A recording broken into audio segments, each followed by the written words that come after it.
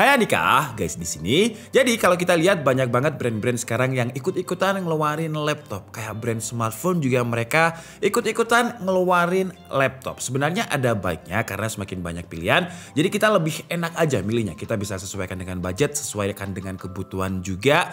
Dan di video kali ini kita akan membahas laptop dari brand yang biasanya terkenal ngeluarin smartphone dengan harga yang terjangkau. Dan perkenalkan ini adalah wah Realme Book Prime. Laptop setipis ini, tapi dia pakai prosesor gaming. Sesuai dengan namanya, Realme Book Prime, laptop terbaru dari Realme ini, menurut saya sih dia prime banget. Jadi bayangkan laptop ini bobotnya itu cuma 1,37 kg dengan ketebalannya itu hanya 14,9 mm, jadi nggak ada 1,5 cm. Tapi untuk prosesornya dia pakai prosesor seri H, prosesor yang biasanya digunakan di laptop gaming atau laptop tebel. Jadi untuk unit yang kita bahas ini dia pakai Intel Core i5 11320H ya, H35. Jadi untuk TDP-nya dia ada di 35 watt. Sedangkan untuk Realme Book yang dulu itu pakai 1135 G7 di mana maksimum TDP-nya ada di 15 watt. Kalau dari segi performa seharusnya Realme Book Prime ini lebih kenceng ketimbang Realme Book tahun kemarin yang pakai 1135 G7. Cuman masalahnya pede banget ya Realme ini memasukkan prosesor seri H di laptop yang setipis dan juga seringan ini karena biasanya akan throttle. Tapi nanti kita lihat gimana performanya seharusnya sih coolingnya juga bakalan beda dengan Realme Book yang kemarin. Terus kalau untuk grafik cardnya karena prosesornya ini pakai prosesor generasi ke-11 11320H jadi untuk grafik cardnya dia nggak menggunakan Intel UXD lagi. Tapi dia udah pakai Intel Iris Xe Graphics yang merupakan IGP paling kencang saat ini dengan speednya itu ada di 1,35 GHz dengan 96 execution unit. Terus untuk memori RAM-nya kapasitasnya 8 GB udah dual channel LPDDR4 dengan speednya itu kenceng 4266 MHz. Cuman karena dia mengejar compactnya, dia mengejar low powernya, mengejar efisiensinya jadi RAM-nya pakai LP. RAM onboard yang ya sayangnya nggak bisa untuk di-upgrade. Karena RAM-nya ini udah disolder di motherboard, gak ada slot untuk upgrade RAM lagi, tapi untungnya udah dual channel dan speednya pun juga udah kenceng. Terus kalau untuk storage-nya, unit yang kita review ini dia pakai SSD M.2 NVMe Gen 3, jadi speed read-nya itu ada di kisaran 3100 Mbps dan write-nya ada di kisaran 1900 Mbps. Dan sayangnya lagi juga nggak ada opsi untuk upgrade SSD. Ya ada sih ya, cuman kita harus ganti SSD defaultnya ini dengan kapasitas yang lebih besar yang tentu akan makan budget lagi. Jadi menurut saya sih ya udahlah default defaultnya 512 GB ini aja udah cukup. Dan tadi saya ada bilang kalau Realme pede banget memasukkan prosesor seri H, prosesor seri gaming di laptop setipis ini. Pertanyaannya sekarang apakah dia nggak throttle? Nah sebelum kita tes kalau kita lihat di bagian dalamnya, Realme Book Prime ini beda dengan laptop tipis atau laptop Ultrabook yang lain. Karena dia udah pakai dual fan dengan dual heat pipe juga, exhaustnya dibuang ke belakang dengan beberapa tambahan thermal blocking yang terlihat serius. Dan untuk sistem coolingnya ini Realme menamainya dengan Vapor Chamber Liquid Cooling System. Tapi gimana apakah performanya masih sanggup untuk menaklukkan TDP 35 watt di airflow setipis ini? Langsung aja kita tes untuk performanya. Pertama seperti biasa kita tes di Benz R15 dengan skenario rata kanan. Jadi power window-nya ada di base performance, kondisi laptopnya dicas. Dan hasilnya untuk performa single core-nya lumayan kenceng ini ya dengan skor 204 poin. Kalau untuk multicore-nya dia sempat nyentuh skor yang tinggi banget dengan 1030 poin. Cuman ketika kita stress hasilnya itu rata-ratanya di kisaran 800 poin lah. Terus kalau untuk suhu temperaturnya seperti biasa karena Benz R15 jadi dia nyolong-nyolong di 90 derajat Celcius tapi nggak konstan.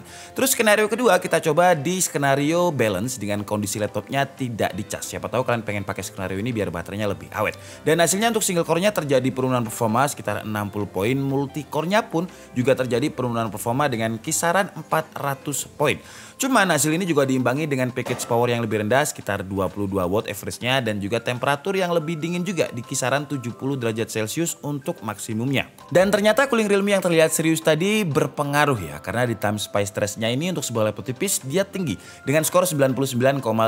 Biasanya laptop tipis yang saya review itu ya lolos memang cuman ada di kisaran 97 sampai 98%. Terus kalau untuk skor time span-nya dia dapat di kisaran 1836 poin, fast track-nya itu 4739 Dan sekarang lanjut ke tes editing. Nah ini penting karena laptop ini segmentasinya adalah produktivitas. Kita coba di Adobe Premiere Pro dengan template yang memang biasanya kita pakai dan dia mampu merender dengan durasi waktu 3 menit 44 detik untuk ekspor ke Full HD. Kalau untuk suhu temperaturnya ketika rendering ini nggak sepanas Cinebench tadi dengan suhu nyolongnya itu sekali aja di 80 derajat Celcius terus dia stabilnya di kisaran 70 derajat Celcius. Lanjut ke tes rendering 3D walaupun sebenarnya ini bukan laptop untuk rendering 3D tapi nggak apa-apa kita coba lihat gimana sistem coolingnya. Hasilnya di Blender dengan template BMW dia mampu merender dengan durasi waktu 8 menit 23 detik. Kalau untuk suhu temperaturnya sekali aja dia nyolong 90 derajat Celcius, abis itu dia turun-turun dan stabil di 70 derajat Celcius. Lanjut ke tes gaming, kita pakai resolusi bawaannya Realme Book Prime ya dengan 1440p dan juga grafiknya high. Dan hasilnya dia mampu mendapatkan average FPS yang tinggi karena memang prosesornya pakai seri H dengan di atas 100 FPS dengan suhu yang juga relatif dingin di bawah 80 derajat Celcius. Lanjut ke game Dota 2 dengan resolusi yang sama 1440p grafiknya ada di best looking dan hasilnya dia juga masih playable dengan kisaran 58 sampai 59 fps dengan suhu yang juga sama dengan Valorant tadi di bawah 80 derajat Celcius. Lanjut ke game yang agak berat lah ya tapi nggak berat-berat banget karena ini memang bukan laptop gaming nggak ada discrete grafiknya. Jadi kita coba di Genshin Impact dengan resolusi 1440p sama juga dan grafiknya ada di low. Dan hasilnya dia juga masih di atas 30 ya dengan skornya itu di kisaran 40-an fps suhunya juga sama dengan kedua game tadi di kisaran 72 sampai 73 derajat Celcius. Terus setelah kita benchmark sintetis dan juga udah kita tes game sampai laptopnya udah kerasa anget, kita clear suhu permukaannya. Dan hasilnya untuk suhu tertingginya itu dia ada di kisaran 50 derajat Celcius, tapi itu ada di bagian exhaust dan juga keyboard bagian tengah. Jadi huruf U, huruf I, angka 7 dan 8 itu agak anget. Cuman kalau misalkan kalian gunakan untuk main game, WASD-nya aman, keyboard bagian kanan juga aman.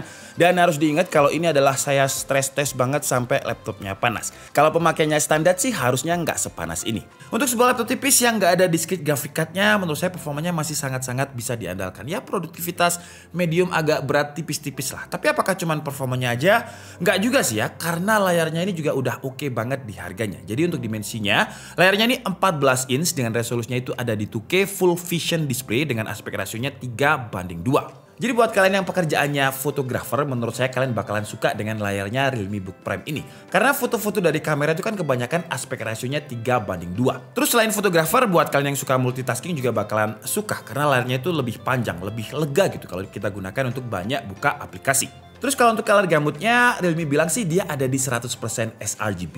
Cuman kalau kita tes pakai device kita, menurut device yang kita pakai untuk tes ya, dia itu ada di 98% sRGB. Ya selisihnya 2% aja sih ya, tipis. Atau mungkin Realme pakai device yang bukan seperti merek punyanya kita. Jadi ada perbedaan ketika kalibrasi. Terus yang oke okay lagi adalah brightness-nya. Brightness-nya ini mencapai 400 nits yang diklaim Realme ini 33% lebih terang dibandingkan laptop pada umumnya. Nah kalau ini saya setuju sih ya. Karena beberapa laptop di harga kelas segini biasanya itu ya 250 nits, 275 atau mentok 300 nits. Tapi Realme berani kasih 400 nits. Kalau misalkan kalian gunakan di outdoor, di lapangan yang cahayanya terik atau di ruangan yang memang benar-benar terang, itu nggak bakalan silau. Kalian masih bisa melihat layarnya dengan cukup nyaman. Terus selain dari spesifikasi layar yang udah nyaman, dari segi frame layarnya juga udah enak banget untuk kita gunakan. Karena screen body itu rasionya itu 90%. Jadi layarnya ini kelihatan lega. Laptop ini 14 inch, tapi kalau kalian lihat ini seperti laptop dulu yang dimensinya itu 13,3 inch. Karena frame layarnya yang memang udah tipis. Cuman memang frame bagian atasnya masih cukup tebal karena masih dikasih webcam dengan resolusi 720p 30 fps. Kalau menurut saya sih ini oke okay sih, karena ada brand yang memang tipis di ketiga sisinya, atasnya juga tipis, tapi nggak ada webcam. Nah kalau misalkan nggak ada webcam sih ya, karena sekarang zamannya WFH, jadi ya rugi kalau nggak ada webcamnya. Kalau dari segi desain, menurut saya laptop ini adalah salah satu ultrabook yang desainnya itu masih bisa diadu lah dengan laptop-laptop yang mungkin pengalamannya lebih lama ketimbang Realme Book Prime. Simpel banget karena ya cuma ada warna dan logo Realme yang di-engrave di bagian depannya.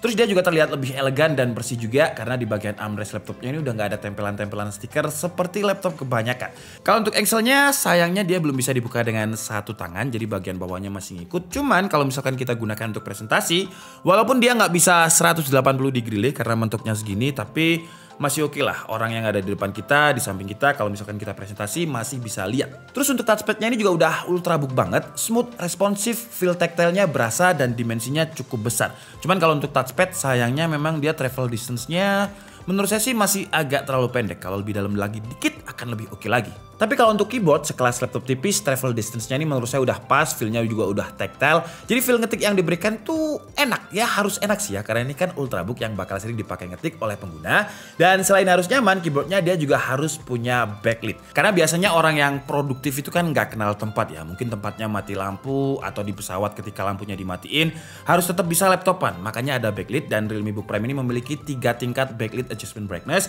dan di bagian tombol powernya juga udah ada fingerprintnya. Jadi kalau misalkan kita mau login ke Windows Hello, tinggal pencet aja nyala langsung login. Gak perlu lagi masukin password. Praktis. Terus kalau dari segi build quality, Realme bilang dia pakai all metallic body ya. Dan memang kalau kita pegang ini feelnya memang metal banget karena dia dingin.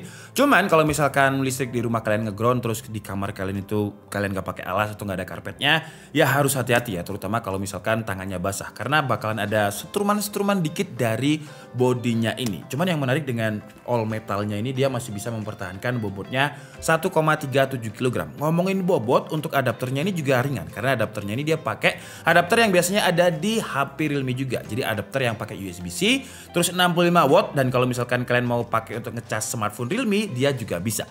Kalau untuk pengisian dayanya dengan adapter yang kecil ini lumayan cepat karena dia memiliki teknologi yang namanya 65 watt power delivery super fast charge dari Realme yang diklaim Realme bisa mengisi baterai 0 sampai 50% itu hanya dengan waktu 30 menit. Dan memang ketika saya pakai sehari-hari untuk ngecas dia nggak butuh waktu yang lama sampai full. Fullnya itu kira-kira 1 jam 40 menit dia itu udah bisa dapat 100% dari 0%. Terus dengan waktu pengecasannya ini yang nggak sampai 2 jam ke 100% kita bisa pakai laptop ini kalau Realme sih klaimnya 12 jam.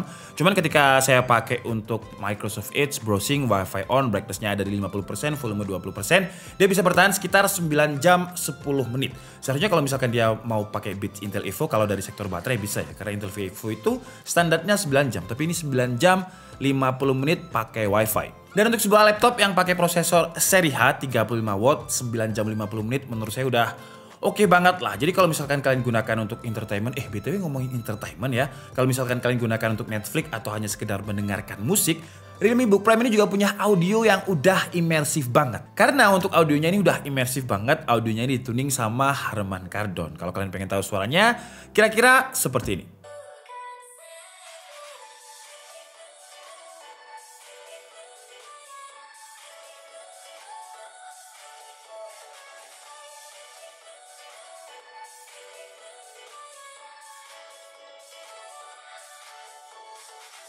Jadi gimana menurut kalian suaranya? Kalau menurut saya sih untuk ukuran laptop tipis ya, dia udah lumayan imersif. Selain speakernya yang udah enak, Realme Book Prime ini juga udah memiliki mikrofon yang bagus juga untuk kita WFA. Karena dia memiliki noise cancelling. Dan untuk kualitasnya, sekarang ya kita, kita ganti. Kita pakai mikrofonnya si Realme Book Prime, kira-kira seperti ini. Kita juga pakai webcamnya, jadi kalian bisa tahu gimana. Kalau untuk webcamnya, standarnya 720p 30 fps ya hampir semua laptop itu kayak sama aja semua gitu 720p 30 fps cuman yang kalian dengarkan dari tadi adalah kualitas mikrofonnya si Realme Book Prime dan karena katanya dia memiliki mic noise cancelling saya agak silent sebentar karena di belakang itu ada AC kalau kalian nggak bisa dengerin berarti mic-nya bagus. Sekarang kita coba yang lebih ekstrim lagi. Jadi kita pakai keyboard mechanical. Apakah dia bisa memfilter suara background dari keyboard ini?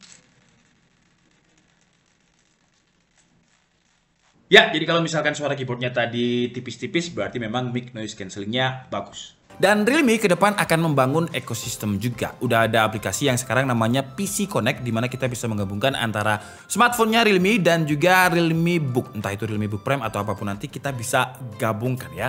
Cuman udah saya coba di Realme 9 Pro Plus dia nggak bisa dan saya udah tanya ke pihak Realme katanya yang bisa itu untuk GT series dulu.